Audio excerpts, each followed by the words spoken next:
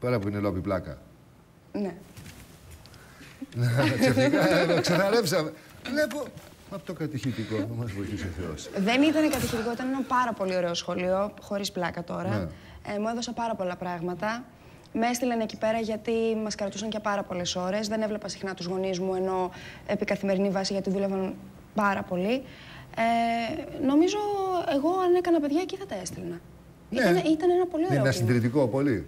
Ε, ήταν συντηρητικό. Μετά έμαθα στο γυμνάσιο, γυμνάσιο και στο Λύκειο ότι δεν ήταν έτσι τα πράγματα. Είχαν χαλαρώσει. Απλά επειδή ήμασταν μικροί μας είχαν τόσο Ναι. σφιχτά. Ρε, εσύ 21 χρονών είσαι, ρε, είσαι συντηρητική.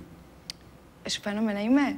Χρόνια πολλά. Χρόνια το γιόρταζε πριν από ένα μήνα ακριβώς. Ναι. Ε. ε, το γλυκούλι. Ναι. ναι έγινες Έκλεισα το 21. 21.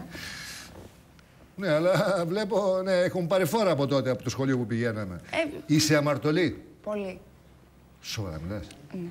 Και τι κάνεις ακριβώς; Τι αμαρτίες, πες μου, εξομολογήσου μου. Εγώ είμαι ο Κάνω. παπάς, τώρα και μ' άρεσε.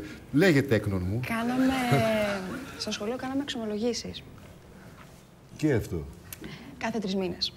Στο δημοτικό. Ναι. Για να πείτε τι αμαρτίες κάνετε μικρά παιδιά. Και λέγαμε, ας πούμε, εγώ έκλεψα μία ξύστρα από τον διπλανό μου. Ε, ο άλλος έκλεψε μολύβι. το μολύβι. Ο Κοροϊδεύσε τη άλλος δασκάλα. ακούει μπουζούκια. Αυτό και να είναι. Είχαμε κύριε Μπουζουξή πριν εδώ. Λέγαμε τέτοια.